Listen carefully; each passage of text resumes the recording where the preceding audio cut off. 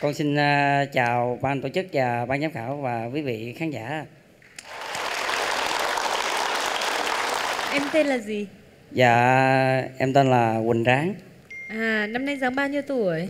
Dạ năm nay con được 17 tuổi. à. Giáng đang ờ, làm công việc gì nhỉ? Dạ hiện giờ con đang à, theo bên à, trống nhạc ạ. À, bây giờ xin mời à, Giáng bắt đầu phần ờ, thi của mình nhé.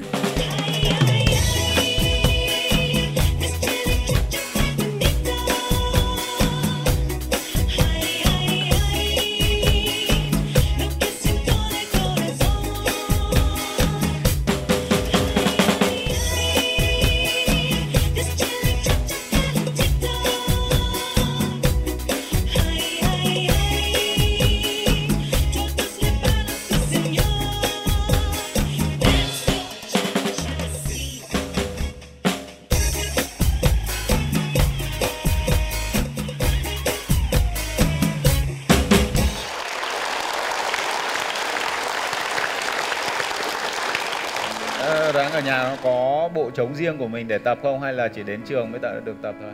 Dạ ở nhà con không có bộ trống riêng mà con tự chế những cái đồ để con tập bằng tay. Thùng và lon và các ờ, dụng cụ ờ, khác à. Chúng ta bất kỳ ai cũng ờ, nên có một cái niềm đam mê và chúng ta có quyền thực hiện niềm đam mê đó. Khi nhìn thấy dáng chơi trống này thì không những anh Huy Tuấn mà mà chị Thuệ nghĩ rằng là uh, rất nhiều khán giả dưới kia uh, sẽ cảm thấy nể phục cái uh, ý chí uh, cũng như là cái tinh thần mà rất là yêu cuộc sống của Giáng. đa số thì uh, chú thấy uh, người khiếm thị thì uh, họ học đàn. Có lẽ đàn thì uh, khi con điều khiển ở trên một cái cần đàn thì con dễ tìm được cái nốt hơn.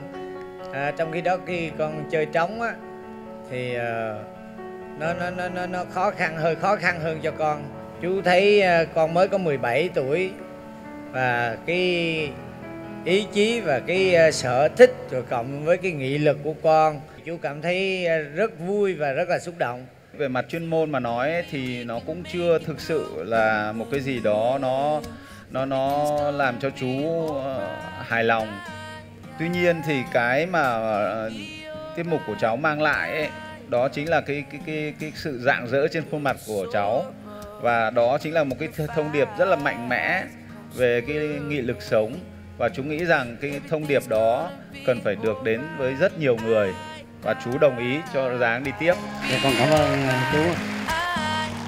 chú đồng ý Thúy Hạnh cũng đồng ý. chú cũng đồng ý Dạ con cảm ơn chú. Ờ, chúc mừng Giáng. Everything's gonna be alright.